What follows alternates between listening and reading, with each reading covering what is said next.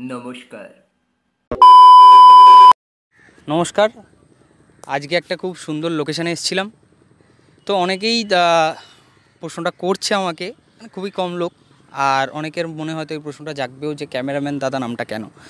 তো আজকে সেই ব্যাপারটা পরিষ্কার করে দিই যে এই নামটা দেওয়ার কারণ হচ্ছে আমি প্রচণ্ডভাবে ওয়েডিং ফটোগ্রাফির সাথে ইনভলভ ছিলাম।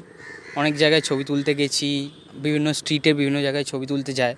তো লোক যখন ডাকে বা আমাদেরকে কিছু কথা বলতে চায়, তো তখন ক্যামেরাম্যান দাদা বা ক্যামেরাম্যান এই নামটাতেই সম্বোধন করে থাকে বেশিরভাগ সময়। তো সেই কারণেই লোক যাতে কানেক্ট করতে পারে আমার কাজের সাথে যে মানে সহজ সরল ভাষায়। আর বাংলাতে ক্যামেরাম্যান ক্যামেরাম্যান দাদা এই নামটা খুব রিলেট করছে। তো এই কারণে এই নামটা আমার দেওয়া। আর বিভিন্ন ধরনের অন্য রকমের কন্টেন্ট তৈরি করার চেষ্টা করব। বিভিন্ন সিনেম্যাটিক ভ্লগস আরও ট্রাভেল এবং ফুড ফুডের খুব একটা আমার নলেজ নেই। তাও যেটুকু আছে সেটুকু আপনাদের সাথে শেয়ার করে নেওয়ার চেষ্টা করব। সঙ্গে থাকুন, আশা করছি বাংলাতে কিছু ভালো কন্টেন্ট তৈরি করতে পারব। তো আজকে যখন এখানে শ্যুট করতে এসেইছি তো একটা ছোট্ট টাইম ল্যাপ শ্যুট করেছি। দেখি ওটা কিরম দাঁড়ায় ঘরে গিয়ে দেয় এডিট করে যদি ভালো মনে হয় পোস্ট করব। দেখতে পাবেন। For mind. চাকরি সূত্রে আমি প্রায় এক বছর গুজরাটে ছিলাম। আর তখন আমার কাছে ভালো ক্যামেরা ছিল না ভালো মোবাইল ছিল না।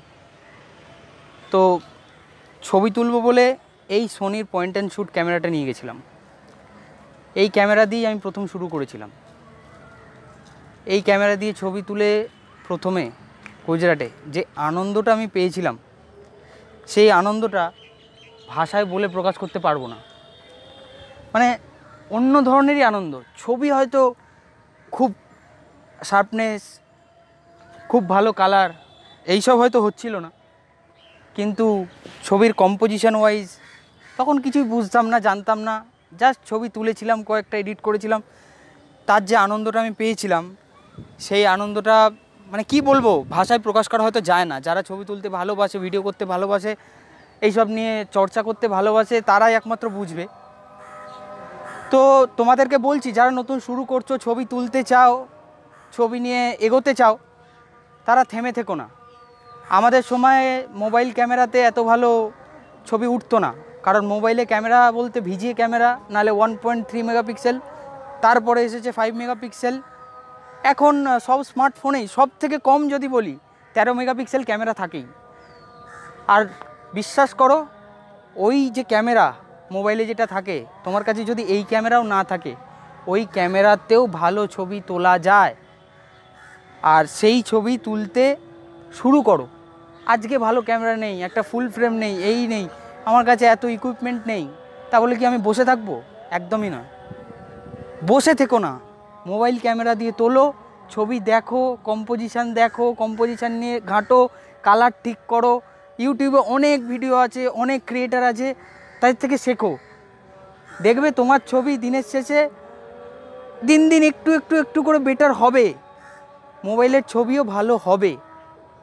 বিশ্বাস করে দেখো, এইভাবেই শুরু করেছিলাম এই ক্যামেরা দিয়ে। এই ক্যামেরার গল্প, কি কি ইকুইপমেন্ট আমি এখন ইউজ করি, না ইউজ করি, সেসব নিয়েও একটা পরে ভিডিও বানাবো, সেসব আস্তে আস্তে হবে।